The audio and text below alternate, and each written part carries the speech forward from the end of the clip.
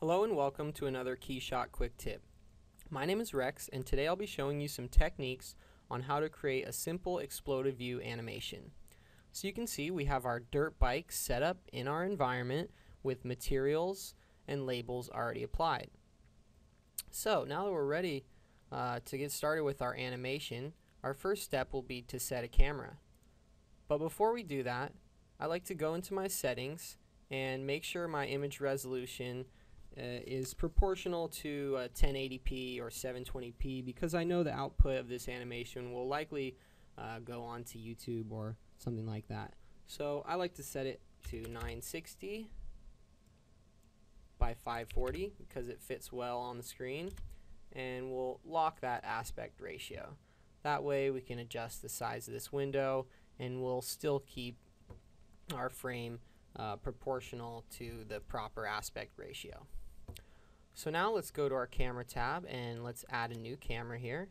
We'll call this exploded.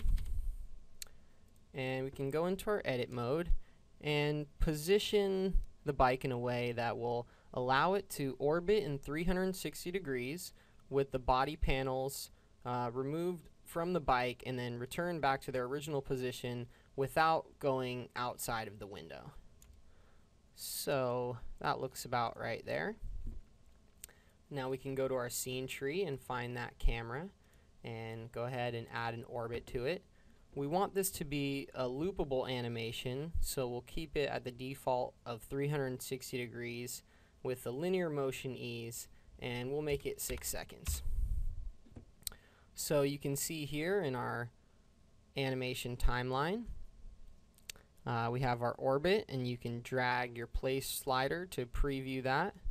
360 degrees of rotation. And now we're ready to uh, begin with our exploded view. So we find our body panels in our scene tree. Luckily they're nice and organized here. And we'll open that up.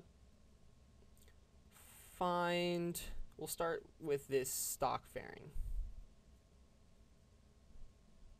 So you can right click and add a translation. And then here in our animation timeline, if we bring our play slider over to the end of that node, uh, we can see what's going on. Now let's uncheck this orbit so we have a better view. And you can see the translation uh, for this fairing is not in the correct axis. So we'll turn this value to 0 and that's going in the wrong direction so we'll make that a negative. And there we go. So now that we have that animation set for the fairing we can copy that and paste it to our front fender.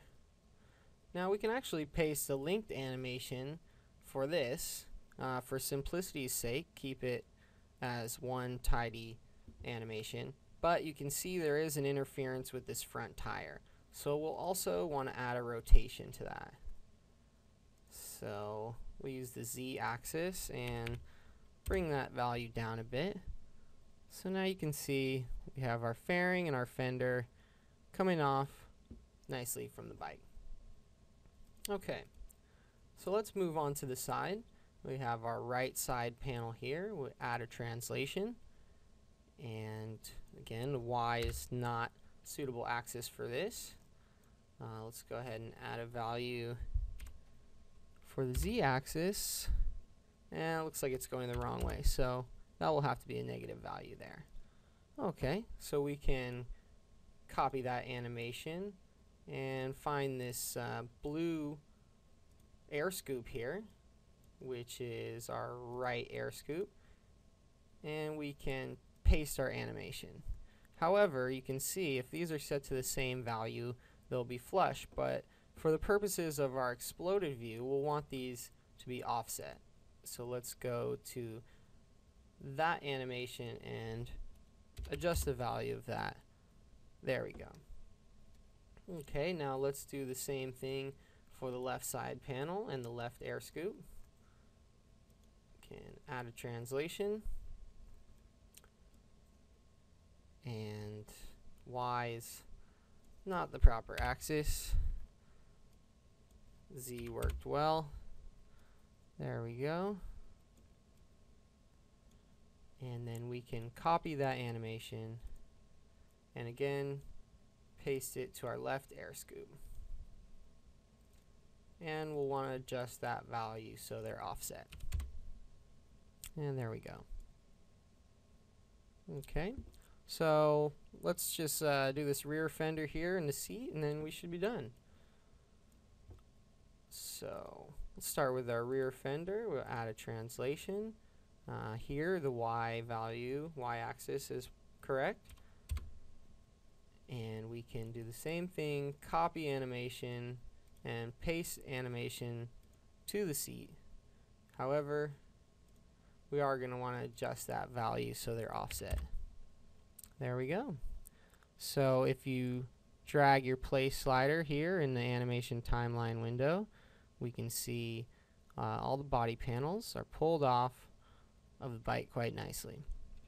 So now that we have those animations, we can tidy things up by adding them to a folder uh, using shift to select them all and call this exploded.